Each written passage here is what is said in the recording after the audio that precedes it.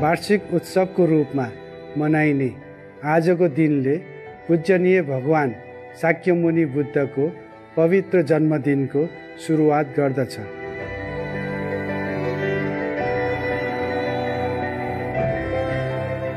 आउनुहोस् हामी सबै भगवान् बुद्धप्रति श्रद्धाका साथ उहाँको करुणामय जीवन शाश्वत शिक्षाहरू र भविष्यको बुद्ध मैत्रीय बुद्धको बारेमा उहाँको भविष्यवाणीहरूलाई मिलेर स्मरण गरौँ।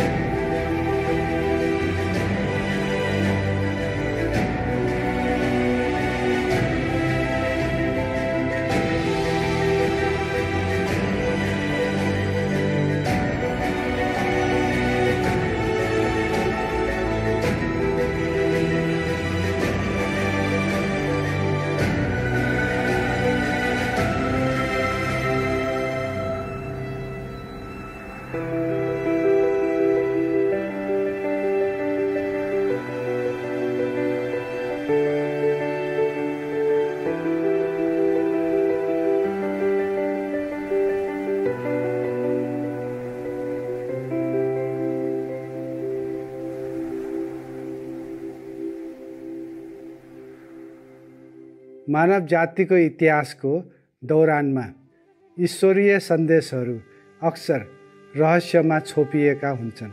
भविष्यवक्ताहरू मसिहाहरू वा जुनसुकै नामले सम्बोधन गरे तापनि उहाँहरू प्राय सताइएका र प्रताडित हुन्छन्। उहाँहरूका शब्दहरू अस्पष्ट पारिन्छन् तर हामीले असत्यबाट सत्यको कसरी पहिचान गर्न सक्छौँ? त्यसो गर्न जो कोहीले ईश्वरीय निर्देशनमा मात्र विश्वास गर्नुपर्छ जसले इमान्दारीपूर्वक सत्यको खोज गर्छ उसको लागि सत्य स्वयं प्रकट हुनेछ।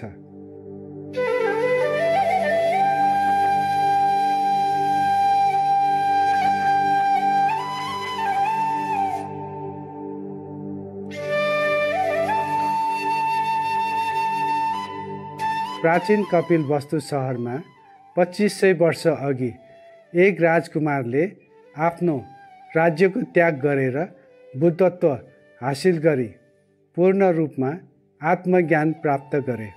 उहाँको नाम सिद्धार्थ गौतम थियो र उहाँका शिक्षाहरूले आज पनि पचास करोडभन्दा बढी बौद्ध धर्मावलम्बीहरू लगायत अनगिन्ती मानिसहरूलाई प्रेरणा दिँदै आइरहेका छन्।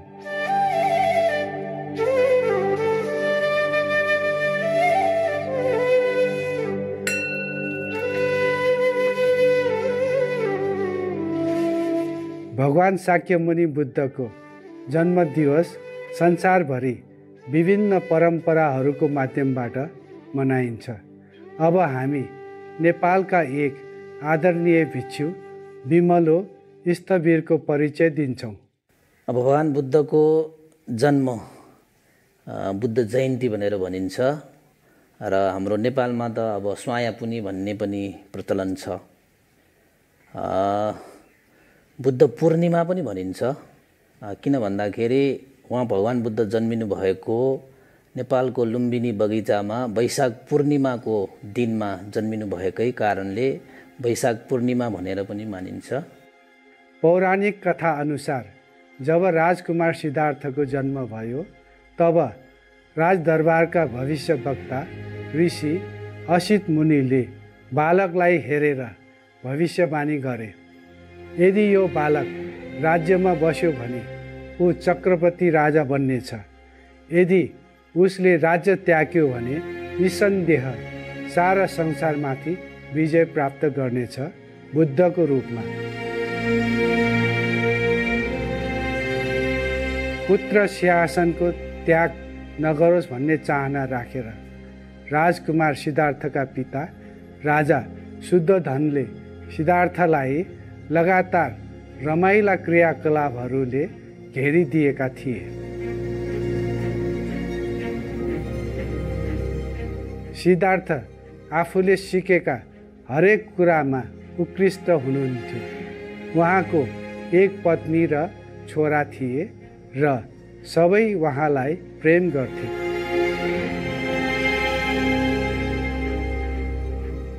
उहाँको जीवन सन्तुष्ट थियो।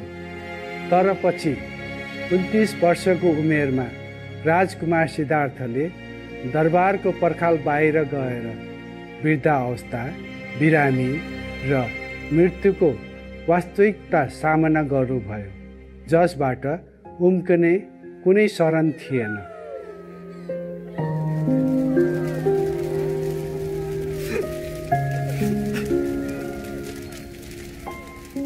उहाँको भेट एक ध्यानी योगीसँग पनि भयो जसले साँचो आन्तरिक शरणको प्रतिनिधित्व गरेका थिए।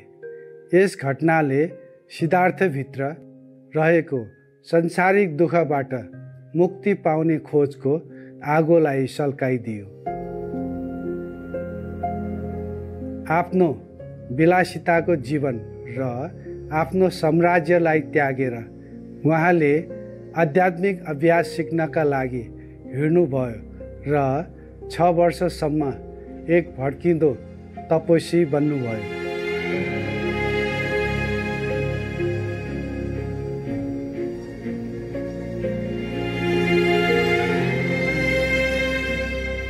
त्यो अन्तरालमा उहाँले चाहिँ केही अन्नपान सेवन नगर्ने त्यसपछि उहाँले चाहिँ तपस्या गर्दै जाँदाखेरि दिनरात नभनिकन उहाँले तपस्या गर्दाखेरि अन्तिममा चाहिँ उहाँले श्वास जुन चाहिँ श्वास प्रश्वास छ हाम्रो त्यो श्वास प्रश्वाससम्म पनि उहाँ रोकेर उहाँले ध्यान भावना गर्नुभएको थियो।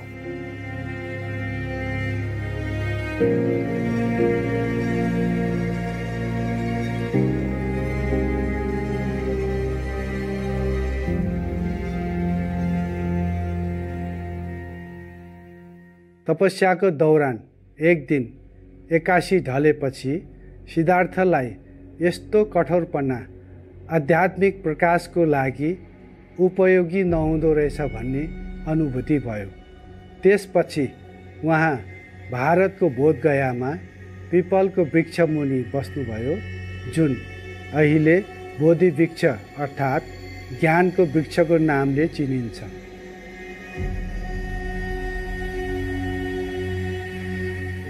त्यहाँ दृढ निश्चयपूर्वक केही समय ध्यानपछि सिद्धार्थ गौतमले बुद्धत्व प्राप्त गरी गौतम बुद्ध एक जागृत व्यक्ति हुनुभयो।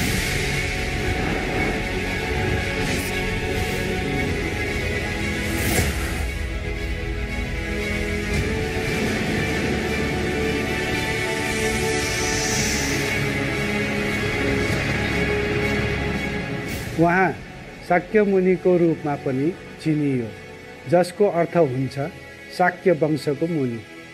पीडित प्राणीहरूप्रति उहाँको महान करुणाको कारण भगवान् शाक्य मुनि बुद्धले धर्मको शिक्षा दिन र अरूलाई मुक्ति दिलाउन मद्दत गर्नको लागि भारतभर खाली पाउ यात्रा गर्नुभयो।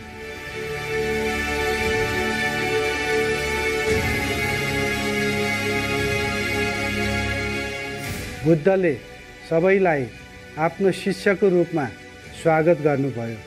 राजाहरू र साधारण मानिसहरू आम मानिसहरू र त्यागीहरू पुरुषहरू र महिलाहरू युवा र वृद्ध सबैलाई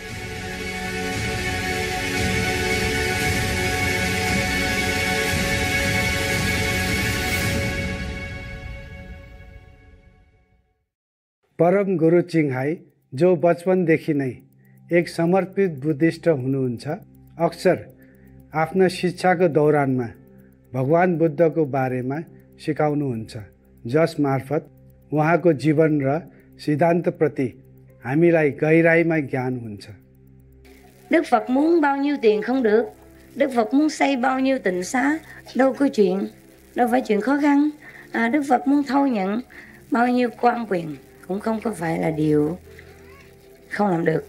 Nhưng mà Đức Phật vẫn giữ nguyên Cái đời sống của một người khất sĩ. Để mà, để làm chi? Để ngài có dịp gần gũi thêm những người khốn nạn, những người cùng khổ trong nhân gian. Bởi vì cái cái cái cái lòng thương của Đức Phật rộng lớn, bao la như vậy, cho nên ngài không từ gian khổ. 49 năm lặn lội trong nhân gian. Đi hết nhà này tới nhà kia giàu sang ngày cũng đến bằng cùng ngày cũng không từ để mà dùng cái phương tiện hạn hẹp đó độ cho tất cả những người nào ngài có thể với tới được có thể à, liên lạc được.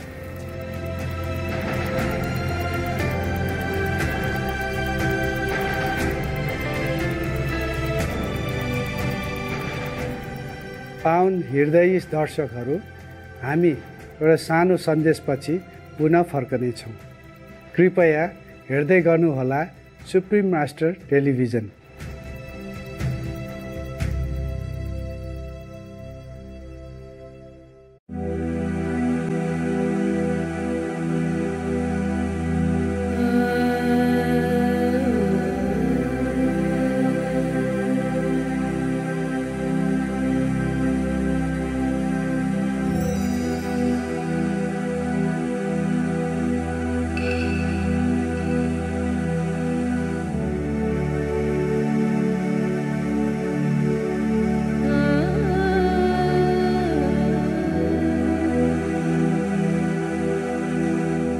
सुधर्मी दर्शकहरू हाम्रो कार्यक्रममा पुनः स्वागत छ।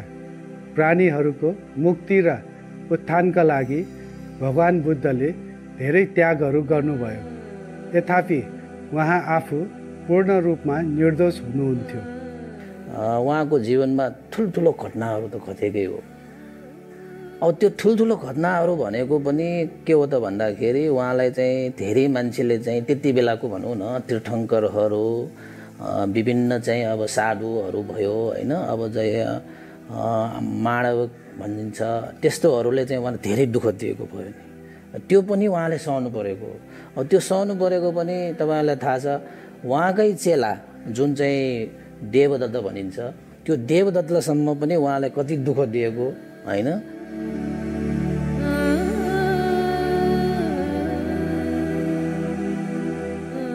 भगवान् बुद्धले यस जीवनमा मात्र नभएर अनगिन्ती पूर्व जुनीहरूमा पनि बलिदान दिँदै आउनु भएको छ। जन्म लिएर जुनसुकै प्राणी भएर जन्मिए तापनि उहाँले कहिले पनि पर हित हुने उद्देश्य छाड्नु भएन। बरु आफूले ज्यानसम्म पनि दिएर जानुभयो प्राणसम्म पनि त्यागेर जानुभयो तर चाहिँ हाम्रो थेरबाट चाहिँ ग्रन्थहरूमा उल्लेख पाइन्छ कि भगवान् बुद्ध त्यसरी मासु मात्र दान गरेर आएको यदि जम्मा गर्ने हो भने चारसँगै एक लाख कल्पसम्मको जुन चाहिँ जन्म लिएर आउनुभयो नि त्यो जन्म मध्येमा उहाँले चाहिँ जुन चाहिँ मासु दान गरेको त्यो मात्र जम्मा गर्ने हो भने यो महा चाहिँ पृथ्वी कति छ? यो महापृथ्वीमा चाहिँ ढुङ्गा माटो कति छ? किनभने बोधी चित्त भएकाहरूलाई त कहिले अरूलाई उपकार गरौँ? त्यो मात्रै चित्त हुन्छ त्यो मात्रै चित्त हुन्छ।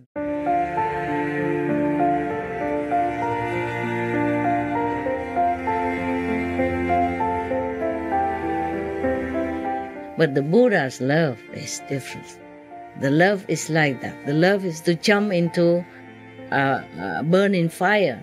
The love is to cut your own head to make offering. The, the love is to sacrifice your eyesight to, to offer, to make offering so that you can become Buddha soon, sooner in the future. The love is, you know, give give all the property to the poor person without knowing that person, just to save him. The love is to kill yourself so that five people can live. That is the love, the true love. Mm? The love, no wanting anything in return, just truly giving. But that love of the Buddha is truly, truly 1,000, 1 million percent unconditional. That kind of love we feel very comfortable with. That's why people love the Buddha.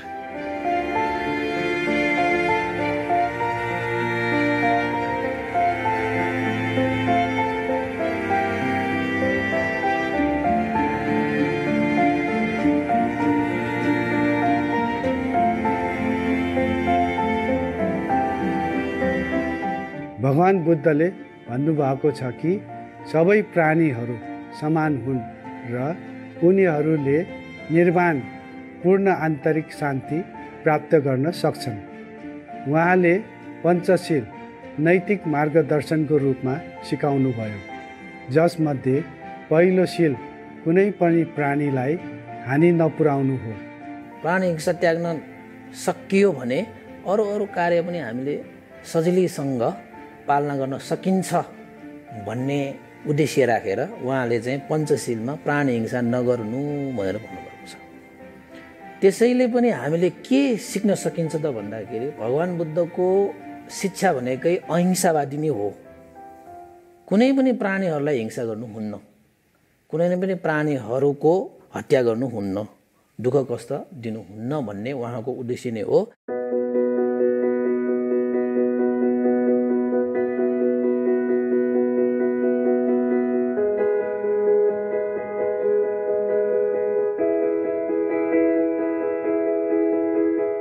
I do not permit my disciples to eat meat. I teach that the eating of meat cuts off great loving kindness.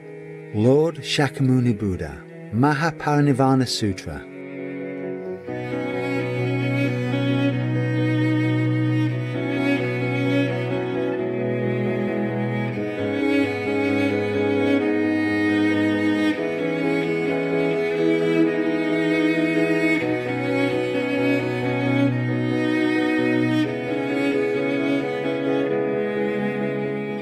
आज पनि धेरै बौद्ध भिक्षुहरूले र अनुयायीहरूले बुद्धको करुणापूर्ण उदाहरणलाई अनुसरण गर्दै मासु खानबाट टाढा बस्छन् जस्तै कोरियाका एक भिक्षु र पूर्व मठाधीश आदरणीय बियोब ड्याम 서가모니 부처님께서 법을 설하시던 때로부터 많은 시간이 흘렀고 세상이 많이 변했지만 기본적인 불교의 가르침에는 변한 것이 없습니다.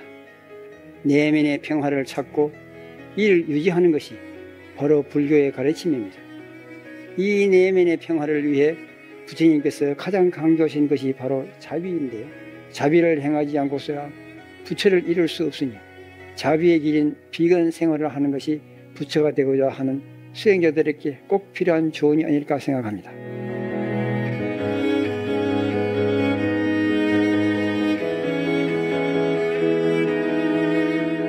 भारत की एक समाजशास्त्र प्राध्यापक एवं तिब्बती बौद्ध शिक्षा की लेखिका आदरणीय डाक्टर रेणुका सिंहले बुद्धको शिक्षाको महत्त्वको बारेमा आज हामीलाई बताउनुभयो this age, particularly, you find that people are alienated. They are uh, confused.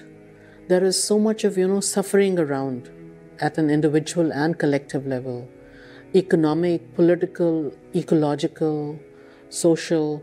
So uh, when you're going through all these crises in life, that is where I think Buddha's teachings become very relevant they give you some amount of sanity, peace, confidence, compassion, so that you can save your own self and you can also save others.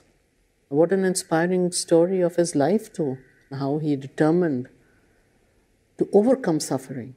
We know that life is suffering, but the other noble truth is that you can overcome suffering. And He showed us the way, and He said that you all have to do it for yourself.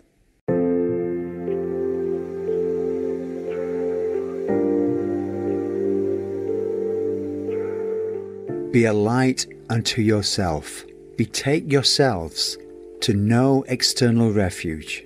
Hold fast to the truth. Look not for refuge to anyone besides yourselves. Lord Shakyamuni Buddha.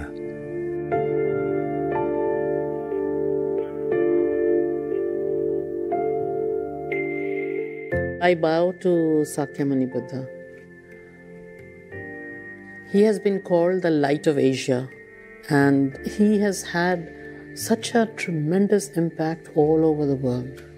This was, you know, 6th century BC, and this is the 21st century now. So imagine the profundity of his experience, his uh, message. This question of, you know, an ethical living today is the result of, you know, the presence of Shakyamuni Buddha. We are really grateful to uh, Lord Buddha for working for us, for turning the wheel of Dharma for the whole world. And I think Lord Buddha will remain an inspiration forever till time and space exist.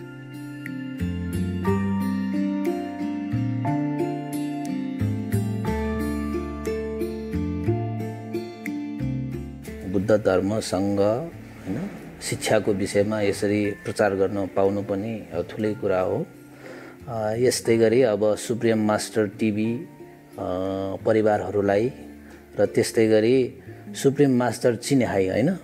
उहाँ गुरु जो हुनुहुन्छ उहाँले चाहिँ प्राणी मात्रको हित सुखको लागि धेरै काम गर्नुहुन्छ र आशा एवं विश्वास त यही चाहिँ प्राणी हित सुखको लागि जुन कार्य उहाँले गर्नुभएको छ त्यो कार्यलाई चाहिँ निरन्तर अगाडि बढाउन सकोस् र अन्तमा तपाईँहरूले जुन चाहिँ टिभी हेर्नु हुने सम्पूर्ण हाम्रो दर्शकवृन्दहरू हुनुहुन्छ उहाँहरूले पनि हामीले यसरी दिएका सिकेका कुराहरू तपाईँहरूसँग अनुभव साट्न पायौँ। त्यसको लागि पनि हामीलाई त खुसी लागेको छ र खुसी हामीलाई यो मानेमा लाग्ने थाल्छ कि जुन बेला हामीले यो कुराहरू जुन सेयर गरेँ तपाईँहरूले हरूसँग त्यो कुरालाई तपाईँले साँच्चैकै व्यवहारमा लागु गरिदिनु भयो भने त्यो मानेमा मात्रै हामीलाई साँच्चैकै खुसी लाग्नेछ र सुप्रिम मास्टर टिभीको पनि साँच्चैकै उद्देश्य पुरा हुनेछ र सुप्रिम मास्टर चिन्हाई गुरुको पनि उद्देश्य पुरा हुन्छ भन्ने आशा एवं विश्वासका साथ सानो दर्शकवृन्दहरूलाई मेरो अनुरोध यही टुङ्ग्याउन चाहन्छु भवतु सब मङ्गल 여러분의 내면에 부처님께서 전해주시는 평화와 자비가 깃들기를 간절히 기원드립니다. 행복한 부처님 오신 날 되십시오.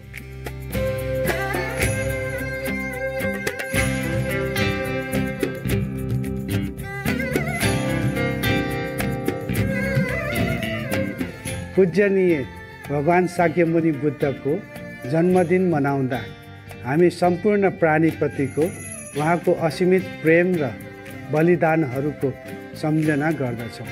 परम वन्दनीय भगवानको निस्वार्थ श्रेष्ठ उदाहरण पछ्याउने प्रयास गर्दै हामी उहाँको सम्मान गर्न चाहन्छौँ। जसकारण हाम्रो पृथ्वीको आयाम र यसभन्दा धेरै परसम्म अझ धेरै खुसियाली आउन सकोस्।